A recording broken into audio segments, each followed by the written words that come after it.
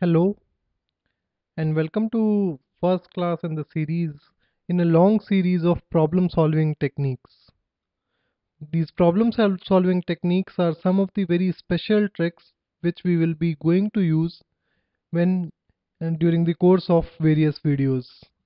These tricks will be employed in solving different kinds of special equation problems. So let's get started quickly. So the problem which I have taken to start with is a level 1 problem in the assignment. The same assignment whose link is given here that is https uh, dl.dropbox.com so on and so forth. So you can download the assignment from this link and get an access to these problems. The key and solutions to these to these problems are also given in the following links. So this is problem number 7 in level 1 of that assignment. So let's see what the problem says. The owner of a local jewelry store hired three watchmen to guard his diamonds very well. But a thief still got in and stole some diamonds. On the way out, the thief met each watchman one at a time. To each he gave half of the diamonds he had then and two more besides. He escaped with one diamond. How many did he steal originally? So we have to find that actually how many diamonds did thief steal to start with. That is before giving any of the diamonds to the watchman. So as discussed in one of the previous videos, we will take the unknowns as x so unknown out here is number of diamonds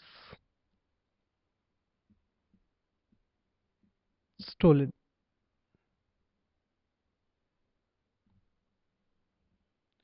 So that is the only unknown out here. Now proceeding ahead, as done in the last problem, mm, I mean the last video which we solved, I will see what operations have been performed on this unknown. So first operation performed on this unknown was that half of it that is x by 2 and 2 on top of it that is x by 2 plus 2 was given away was given away. So now if I plot a line and track the events on a line to understand better, then I would find that first event which happened was when thief met first watchman. Hmm, this is first watchman. So when thief met first watchman, he gave away x by 2 plus 2 diamonds. So diamonds remaining were x minus x by 2 plus 2 which in turn would be x by 2 minus 2 which in turn would be x minus 4 by 2. So after he met first watchman diamonds remaining were x minus 4 by 2. Now same thing happened with the second watchman as well that whatever diamonds he had that is x minus 4 by 2 he gave away half of it that is x minus 4 by 2 by 2 and plus 2 on top of that. As a result diamond remaining with him were x minus 4 by 2 that is original number of diamonds minus x minus 4 by 2 whole by 2 plus 2 which will give x minus 4 by 2 whole by 2 minus 2 which is equal to x minus 4 by 4 minus 2 which is equal to x minus 4 minus 8 by 4 which is then equal to x minus 12 by 4 So after he met second watchman, second watchman, the diamonds with him were x minus 12 by 4. Now when he meets third watchman, he once again gives away whatever he had, that is half of it, and 2 on top of it. So remaining diamonds he has now is x minus 12 by 4 minus x minus 12 by 4 by 2 plus 2 which will give him x minus 12 by 8 minus 2 which is then equal to x minus 28 by 8 so this is after he met third watchman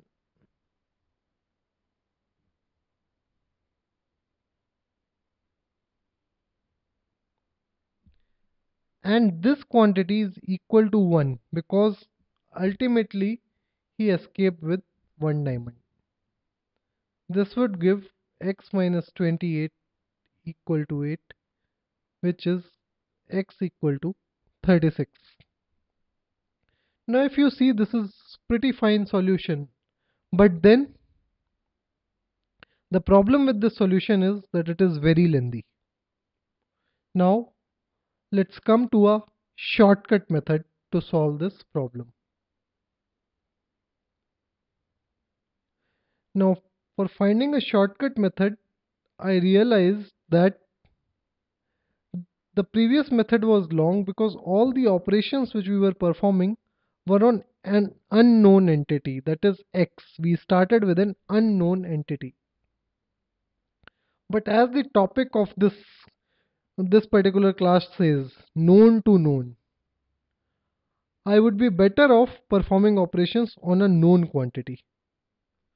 So let's try to solve this again, this time trying to perform operations on a known quantity. So known quantity in my case here is that when the thief met third watchman,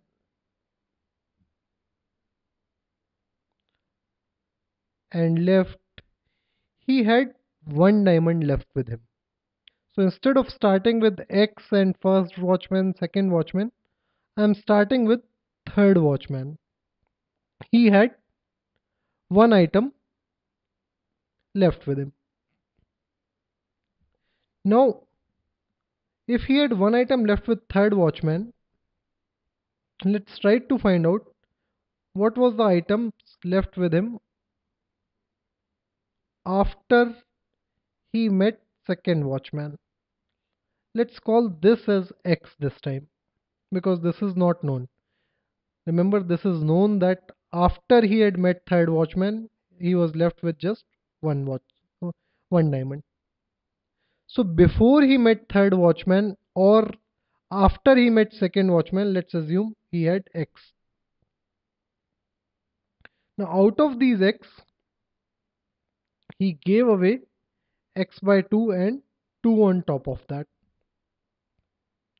As a result, he was left with x minus x by 2 plus 2 which is equal to x by 2 minus 2 diamonds.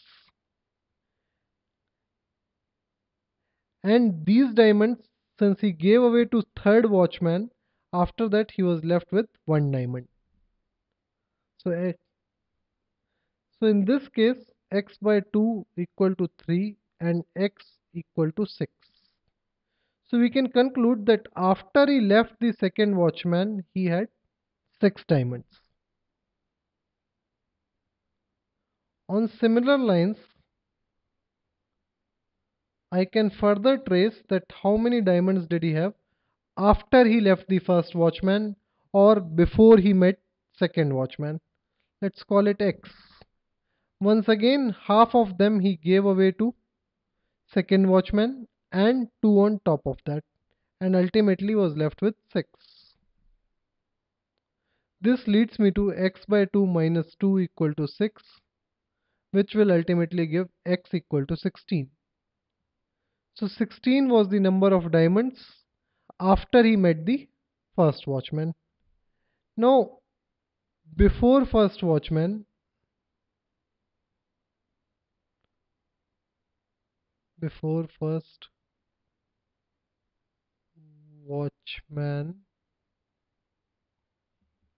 Let's assume again that he had x diamonds out of which he gave away x by 2 plus 2 which gave him x by 2 minus 2 again equal to 16 this will lead to x equal to 16 plus 2 into 2 which is equal to 36 so before first watchman he had 36 diamonds. So this time I traced it from the back. 1 after meeting the third watchman 6 after meeting, meeting the second watchman 16 after meeting, meeting the first watchman and 36 before meeting the first watchman. Now here in this case number of calculations and number of expressions were much smaller and much more manageable. While the answer we got in both the cases was same. So this is what I meant when I said moving from known to known. Known to known rather than moving from unknown to known. In previous case unknown was x, known was 1. This time known is 1 and we are moving to another known quantity that is 36. So since I have solved this question, I would mark option B as my answer, which is 36, and move on.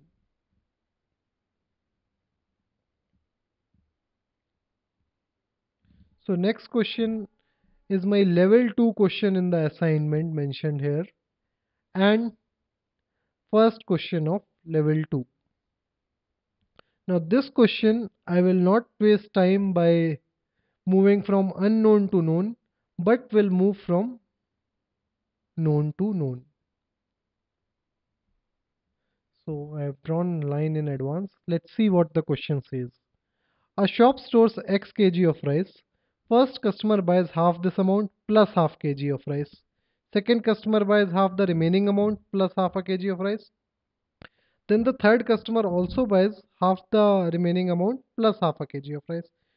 Thereafter no rice is left in the shop. Which of the following best describes the value of x? So once again we have to find this value which was at the start of the shop. This value is x. We know that at the end that is after third customer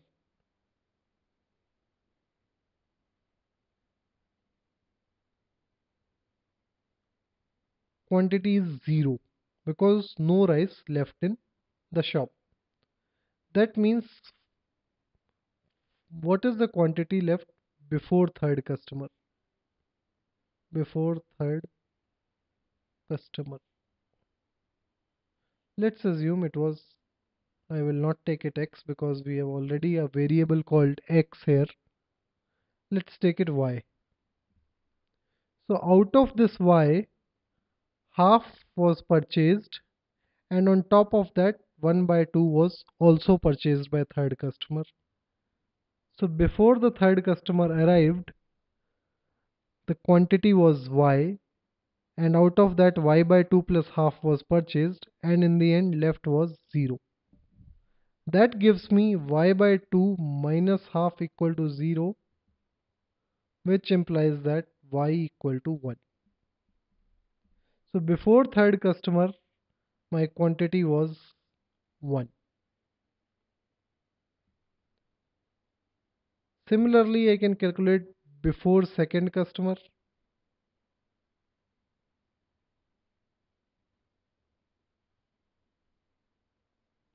Again assuming this as y, y minus y by 2 plus half because this much was given away to the second customer is equal to 1. This implies y by 2 minus half equal to 1 or y by 2 equal to 3 by 2 implies that y equal to 3.